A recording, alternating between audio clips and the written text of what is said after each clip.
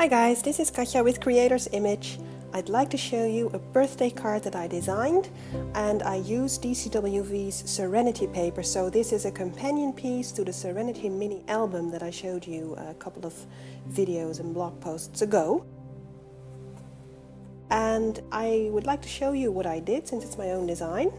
So here's a blank paper to uh, show you the cutouts that I made. This is an A4 piece of paper initially. So as you can see, um, I folded it.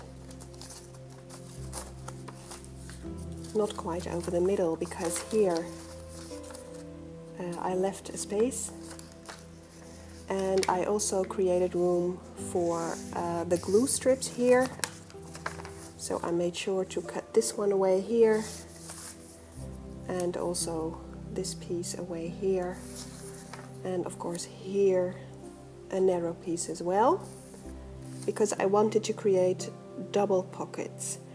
Um, and as you can see when you fold this you're already halfway there because you only have to put glue or score tape here and here and then fold it and you have your pockets now the only thing you're left with then is this piece here because this will have to close as well so what I did there is create an extra hinge simply using a little piece of paper. Attached it and that's it. And then all you had to do is fold this to have a flap pocket. And this is actually the basic design. So it's one piece of A4 paper is all you need for your basis. Now I'm not giving you the exact measurements and there's a reason for that. Um, it's because I designed this card to fit exactly around, um, let me show you this, this card here.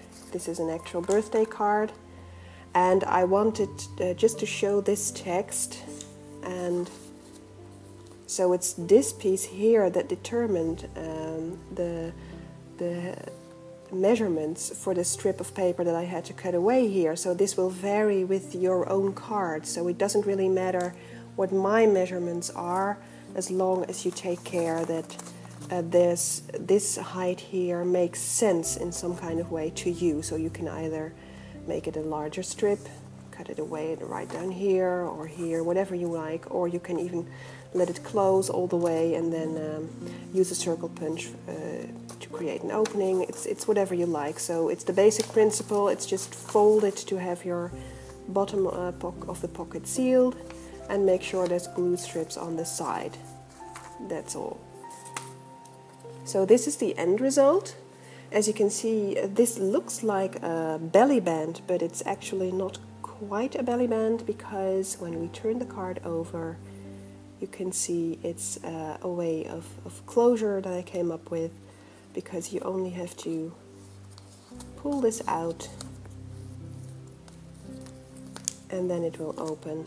Without you use uh, without you losing this piece of uh, paper because with a belly band you will remove it and you may lose it or whatever and this is a way to uh, to keep your closure with your card uh, so it's a nice alternative I did that by the way just by uh, putting a strip of uh, paper here and attaching it with two brads to this decorative paper and then glue the whole thing to the basis of the card. So again, very simple. Now as you can see here in this uh, smaller pocket there's a tag and this tag contains uh, a photo of the recipient and I backed it up with some decorative paper of the Serenity paper stack and then here there's a tag that I created uh, from the design paper that says happy birthday and I attached that with a lovely brad here that I found in uh, well some sort of uh, local craft uh, shop.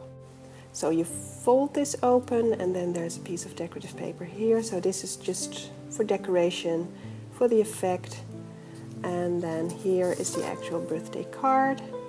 So I picked a birthday card that had text on the one hand and then uh, the color theme here would match the paper.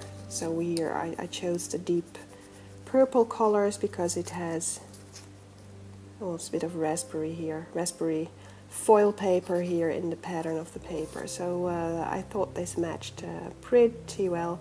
So I will write this and then tuck it in here and close the card. And that's it, that's my design.